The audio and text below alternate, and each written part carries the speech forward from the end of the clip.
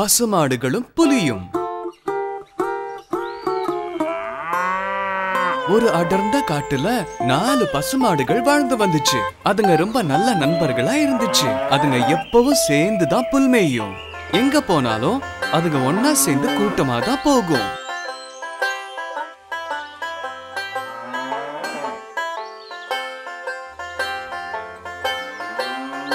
காட்டுல பலவிதமான வேட்டை மிருகங்களோட அவங்க இருந்தாலும் அவங்க நாலு பேரும் ஒத்துமையா இருந்ததால யாராலையும் அவங்கள வேட்டையாட முடியல. ஆனா ஒரு புலி இந்த பசங்களை ரொம்ப நாளாவே கண்காணிச்சுக்கிட்டு வந்தது. எப்படியாவது இதுங்களை வேட்டையாடி சாப்பிடணும்னு அது நினைச்சுதான். பசுலாம் கொழு கொழுன்னு இருக்கு. இதுங்களை சாப்பிட்டா எப்படி இருக்கும்? இப்படி திட்டம் போட்டு புலி ஒரு ஒரு தடவை தாக்க முயற்சி பண்ணும் போதும் அந்த பசங்க எல்லாம் ஒன்னா சேர்ந்து அந்த புலிய உதைச்சு விரட்டி அடிச்சிருமா?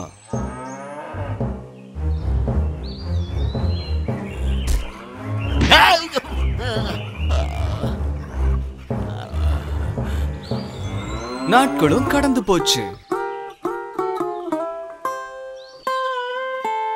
ஒரு நாள் அந்த பசங்களுக்குள்ள பெரிய சண்டை வந்துருச்சு. என்கிட்ட பேசாது.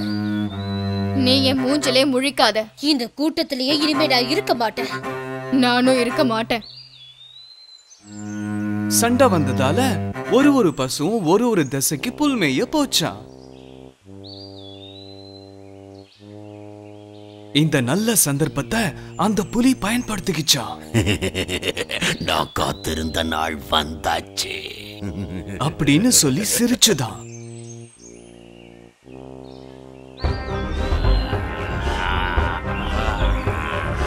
அதுக்கப்புறம் தனித்தனியா இருந்த பசுக்களை தாக்கி ஒவ்வொரு பசுவா வேட்டையாட ஆரம்பிச்சுதா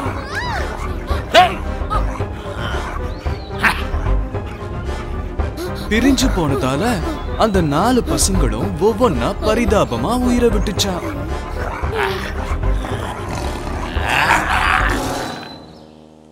ஒற்றுமையே நம் பலம் பிரிவு நம் பலவீனம்.